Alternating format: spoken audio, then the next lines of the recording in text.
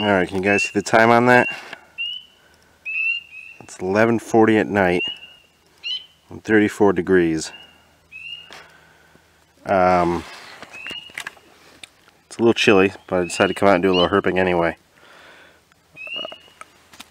but it's pretty uh, quiet out here, as you can hear. Um, there's a few peepers calling, but not much else as far as amphibian activity goes. Although I did find um, this guy walking along the bank of the pond. I gotta get my headlamp on him. And this is a uh, Jefferson salamander. And uh, yeah, this is a short video, I know, but um,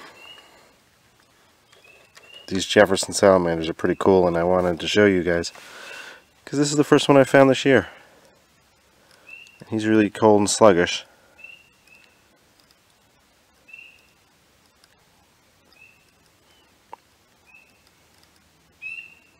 Check that out.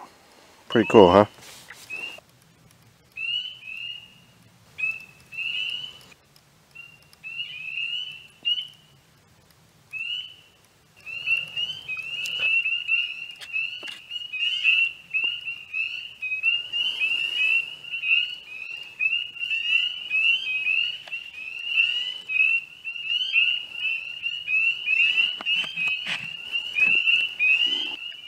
So the Jefferson salamander is a, it's a mole salamander, like the uh, the uh, famous tiger salamander and the yellow spotted salamanders that are so common. These guys are unique to the Northeast, but like the other mole salamanders, pretty much your only chance of seeing one is on the nights where they're migrating to their breeding pools.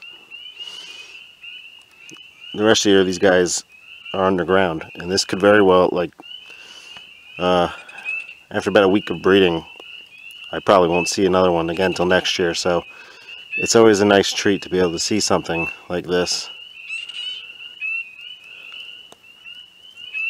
And it's like, yeah, you know, I've seen them before, but um, when you can only see them once a year, you really stop and appreciate, uh, you know, everyone you can find. And if you're real lucky, you can catch them in their breeding pools. There he goes.